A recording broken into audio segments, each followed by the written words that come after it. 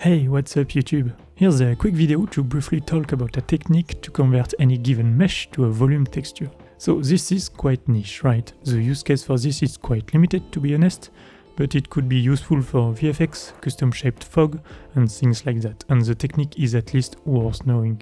The blueprint isn't that complex to set up, so I'll just go over its key components and the principle, and let you figure out the details to keep the video short. You're also welcome to join my Patreon, files are available as a tier 2 reward.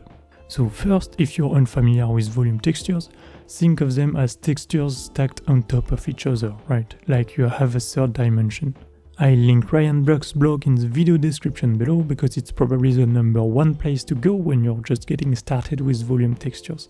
There's plenty of things to learn here. So yeah, you can use a volume texture to represent, well, uh, volume, right? Say a mesh like that one. The idea is to slice it and render the generated cap section.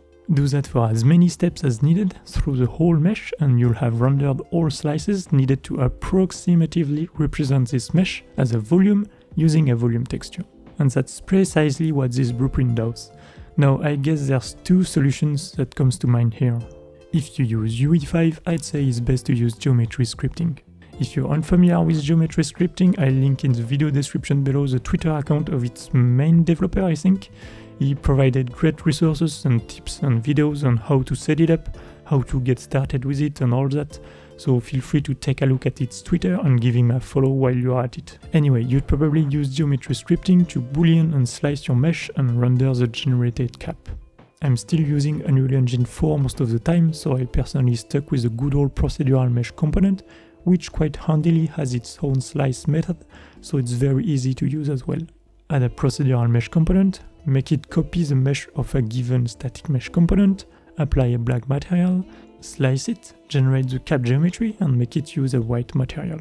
Then render that cap geometry with a scene capture component below, do that iteratively on a loop to capture all slices, and that's pretty much it. Note that boolean operations are quite finicky sometimes, so depending on your mesh, how it's built, the geometry density and all that, you might get weird results, so it's definitely best working when using simple geometry like this. However, I'm assuming geometry scripting implements a much better boolean solution than the procedural mesh component, so again definitely use geometry scripting if you're on UE5. Anyway, now to create an atlas texture from all those slices, you can use a material like this one.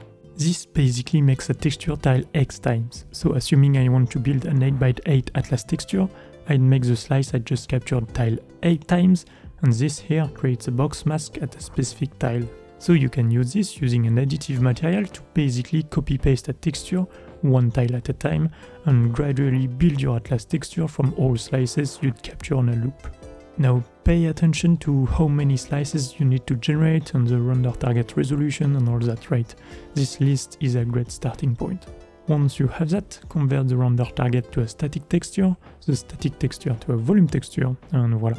Now that you have a volume texture, you can use a simple ray marching algorithm to step through it, or inject it in the volumetric fog like so, and voila, neat.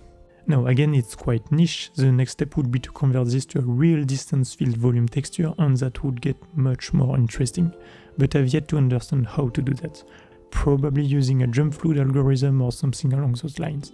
I will definitely investigate though because it'd be cool to have per object distance fields with much greater accuracy than the one you get from sampling Unreal Engine's global distance field if needed.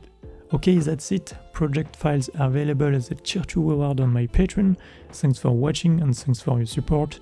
Consider leaving a like and subscribing to the channel if you like the content. I'll see you in the next video. Take care of yourself. Bye bye!